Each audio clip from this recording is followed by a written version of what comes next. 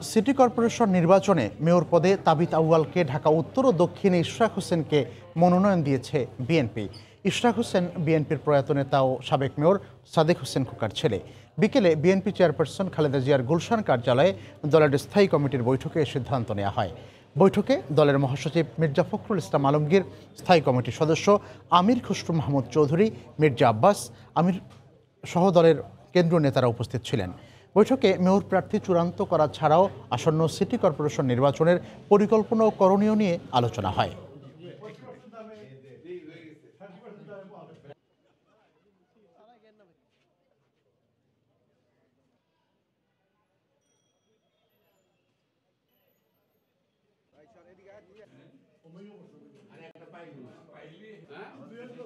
Dhaka city কর্পোরেশনের দুটো, একটা হচ্ছে একটা উত্তর ও দক্ষিণ। দক্ষিণে আমাদের এবার প্রার্থী ছিলেন একজনই। এবং তিনি হচ্ছেন আপনার, আপনারা জানেন যে শরাক হোসেন। ঢাকা উত্তর সিটি কর্পোরেশনে ক্যান্ডিডেট ছিলেন দুজন। আপনারা জানেন যে ডক্টর আসুজ্জামান রিমত ছিলেন, তাবিত আওয়াল। এই মুহূর্তে গুলশানে বিএনপি চেয়ারপারসনের কার্যালয়ে আছেন রিপোর্টার নাজমুস সালেহি। সরাসরি চলে যাচ্ছে তার কাছে। সালেহি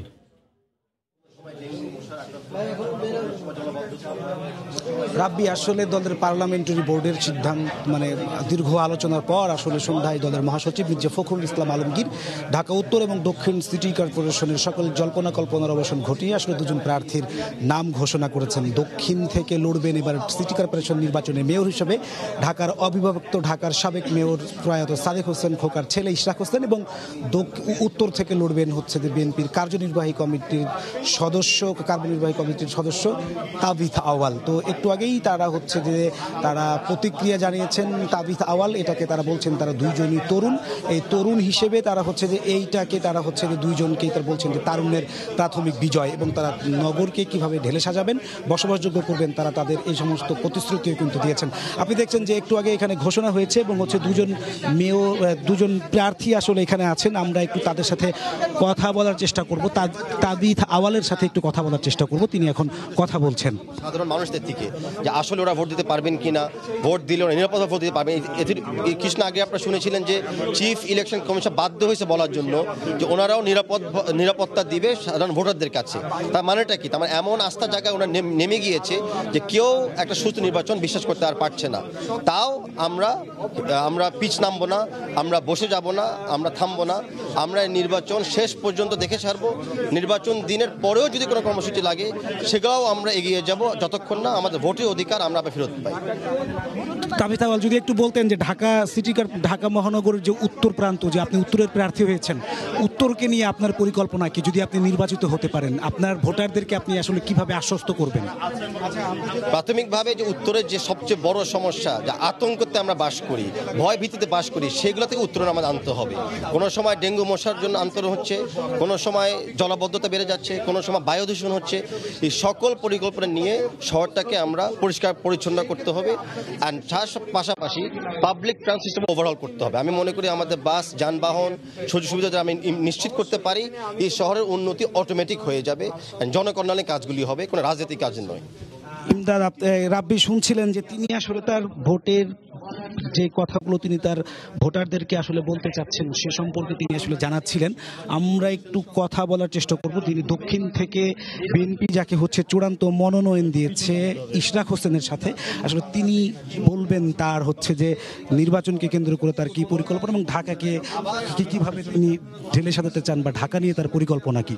জাতীয় নির্বাচনের নামে জাতির সাথে একটি তামাশা হয়েছে।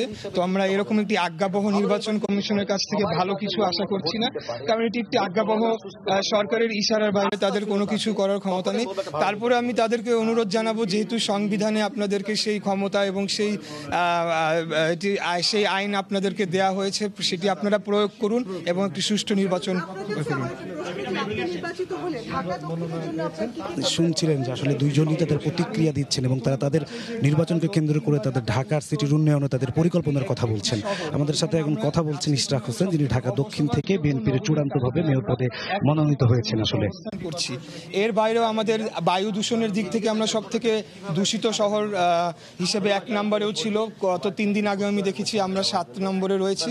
তো এইসব সমস্যা দূর করার জন্য প্রথমে আমি যে পদক্ষেপগুলো নিব সেটি হবে ঢাকাকে একটি বাসযোগ্য নগরী তৈরি করা। অবশ্যই আমার অবশ্যই আমার সুন, আমার সুনির্দিষ্ট বিশদ পরিকল্পনা রয়েছে, সেটি আমার ইশতেহারে আমি তুলে ধরবো।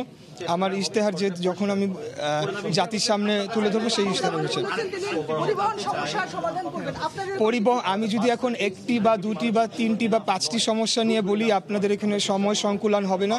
কারণ আমাদের সমস্যা অনেক এবং এর সমাধান নিয়ে কথা বলতে গেলে অনেক সময় প্রয়োজন। সেজন্য আমি বারে বারে বলছি যে আমার ইশতেহারে আমি বিস্তারিত তুলে ধরবো।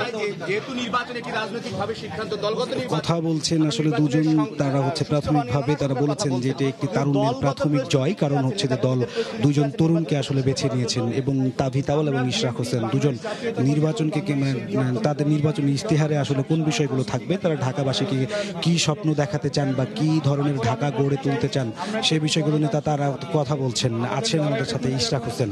হচ্ছে এক রাষ্ট্রযন্ত্রগুলোর সাথে। সেখানে রাষ্ট্রযন্ত্রের যে রাষ্ট্রীয় বাহিনীগুলো রয়েছে তারা সুশিক্ষিত তারা তাদের সে- সেটা মোকাবেলা করতে হলে তো আমাদেরকে মানে গণতান্ত্রিক পদ্ধায় তো মোকাবিলা করতে হবে। তো আমরা আমাদের গণতান্ত্রিক পদ্ধা- পদ্ধতিতে আমরা চেষ্টা করে যাব যে জনগণকে উদ্বুদ্ধ করব, তারা যাতে ভোট কেন্দ্রে উপস্থিত হয় এবং তারা তাদের ভোট প্রদান করার জন্য যাতে তারা সচল ভূমিকা সবলভাবে তারা ভোট কেন্দ্রে উপস্থিত হয়ে তাদের ভোটটা প্রদান করে সেই সেই চেষ্টাটা আমাদের দলীয় এবং অঙ্গ সংগঠনগুলো করে যাবে। আসলে আপনারা হচ্ছে যে শুনছিলেন দর্শক যে দুইজন প্রার্থীকে আসলে ঢাকা উত্তর এবং দক্ষিণ সিটি কর্পোরেশন থেকে বিএনপি তাদেরকে যে চূড়ান্তভাবে মনোনয়ন দিয়েছে।